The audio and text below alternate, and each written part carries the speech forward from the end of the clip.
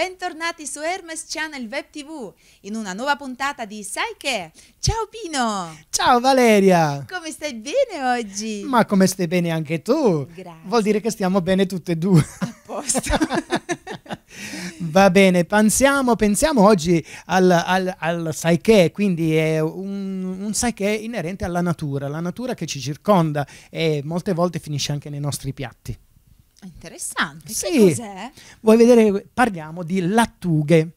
La lattuga, cioè, è, è uno che sembrerebbe che la lattuga è una verdura che non vale niente, ma la realtà ci ne sono ma tante, tante qualità, specie e, e praticamente hanno anche tante proteine e fa bene anche alla salute a quanto pare, Mm. giusto?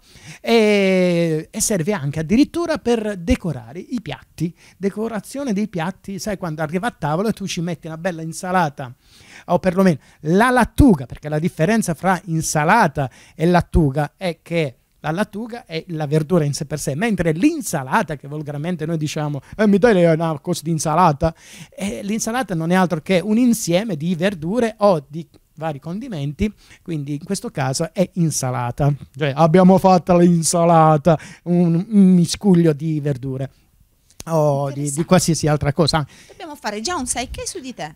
Su di me, oh, è pesante. Va bene, Va bene allora Quindi, parliamo. qualità e relative proprietà di lattughe ci dà l'informazione Rosalba Sportelli dell'azienda agricola Mesa di Putignano. E prima di vederci il video, naturalmente vi chiediamo di iscrivervi al nostro canale e di mettere sempre il mi piace e in più di mettere di cliccare sul campanellino che vi, Vi avviserà sui nuovi video. mi hai tolto le parole di bocca. Quindi, Um. um, vediamoci il video.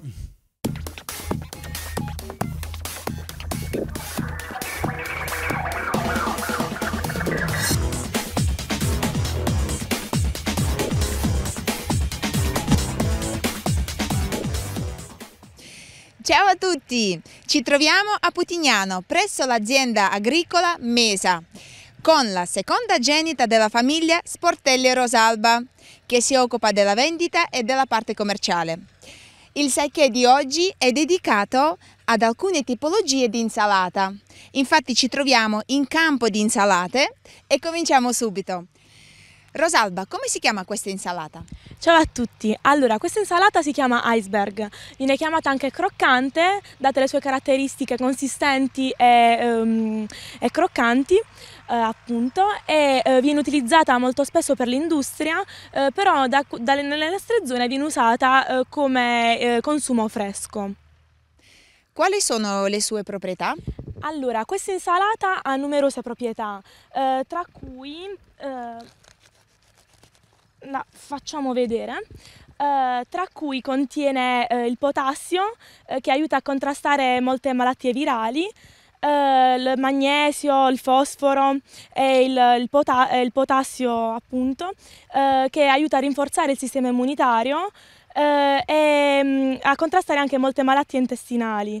Ehm, inoltre contiene ferro che aiuta a contrastare l'anemia e, eh, ed è molto leggera, infatti può essere usata per molte diete, eh, è, è l'elemento, principale per molte diete e, ehm, e quindi è alla base della dieta, di un'ottima dieta mediterranea.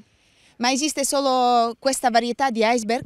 Allora, di varietà ne esistono molteplici, infatti eh, questa insalata la troviamo sugli scaffali quattro stagioni su quattro, eh, poiché eh, molte stagioni eh, si adeguano all'ambiente e quindi riescono a sopravvivere anche con il caldo o con il freddo. E quanto tempo passa dal trapianto alla raccolta? Dal trapianto alla raccolta passano circa 35-40 giorni, dipende dalla temperatura. E eh, sappiamo che è pronta quando la consistenza del cocco è eh, più uniforme. Rosalba, e che cosa serve per la crescita? Che prodotti utilizzate? Allora, inizialmente al momento del trapianto utilizziamo un concime organico del tutto naturale e eh, successivamente per proteggere eh, la crescita di questa insalata eh, bisogna fare attenzione a due fattori. Il primo eh, alla notue, che è un lepidottero che depone le uova e eh, si vanno a formare dei buchi che vanno a mangiare le foglie. La seconda riguarda i ristagni idrici e eh, per ehm, far sì che non si creino si si usa la zeolite e bisogna inoltre piantare le piante a distanza eh, circa di eh, mezzo metro per non essere ammassate. Eh, la zeolite è inoltre una polvere di roccia del tutto naturale che si ricava eh, da una roccia morbida e eh, alcuni studi hanno dimostrato che si può anche mangiare. Grazie, molto interessante. E ora scopriamo un altro tipo di insalata. Eccoci qua. Rosalba, è vero che ci sono le insalate lisce e ricce? Allora, abbiamo qui la scarola liscia, là la scarola riccia. E, ehm, e sono, entrambe hanno tutte e due le stesse proprietà, sono ricche di acqua e quindi eh, sono antiossidanti, hanno molte fibre. E eh, questa è molto grande utilizziamo particolarmente le foglie centrali per fare una bella insalata, le foglie esteriori per cucinare. E, ehm, in cucina si possono creare molti piatti, eh, tra cui un bel timballo o possiamo utilizzarla anche per, eh, come, come una cicoria. E voilà! Eccola qua. Come vediamo il centrale è bianco ed è molto saporito, leggermente amaro ma è quell'amaro piacevole. Wow, sembra un bouquet di fiori! e adesso vediamo quella riccia? Certo, andiamo a vederla. Eccola qua. Questa come la scarola liscia eh, viene piantata eh, nel periodo di settembre, ma eh, può essere piantata durante tutto l'inverno perché è una pianta prettamente invernale e ha bisogno eh, di circa 100 giorni per, per essere raccolta. Eh, questa ha le proprietà come la croccante e quindi contiene potassio, ehm, magnesio, ferro e calcio ed è quindi molto ricca eh, di, di proprietà. Bella, proprio come i capelli miei, uguale. ok, adesso proseguiamo con un'altra insalata. Certo. Ecco qua il radicchio.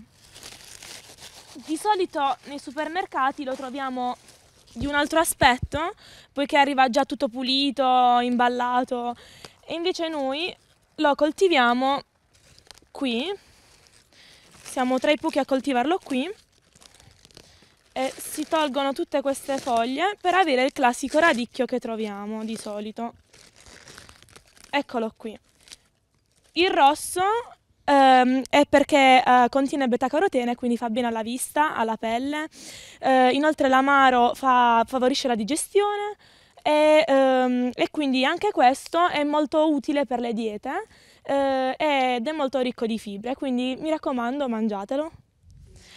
Questa invece è la lollo liscia e viene utilizzata principalmente per guarnire i piatti perché è molto bella esteticamente e, ehm, e anche questa è molto organolettica, contiene vitamine, sali minerali e fa quindi molto bene alla salute. Questa invece è la lollo riccia, ha le stesse consistenze di, della prima, eh, l'unica cosa che la foglia è più riccia, è più carnosa e eh, di queste troviamo diversi colori, abbiamo quella rossa, quella verde, e, um, e, quindi la utilizziamo più che altro per dare un colore alle, insalate, alle insalate miste e un colore anche ai piatti. Qua abbiamo le scarole ricce e eh, sono particolarmente buone perché hanno un sapore agrodolce eh, che favorisce la digestione e fa, molto, fa molto bene all'intestino. Questa è la scarola liscia e questa è la scarola riccia. Hanno la particolarità di essere agrodolci e per coltivarle queste non hanno bisogno di, molto, ehm, di molti prodotti, ma hanno bisogno di, di, solo dell'acqua e di tanta pazienza. Questa invece è la romanella, è eh, una insalata molto antica, eh, poiché mentre la croccante eh, è arrivata dall'America tanto tempo fa, questa invece è nata nelle nostre zone e quindi è un'insalata molto tradizionale ed è molto buona, anche questa la foglia uh, morbida, però uh, piacevole nel palato. Grazie mille Rosalba, è stato molto interessante. Grazie a voi per questa esperienza. Sai che può interessare e coinvolgere anche te.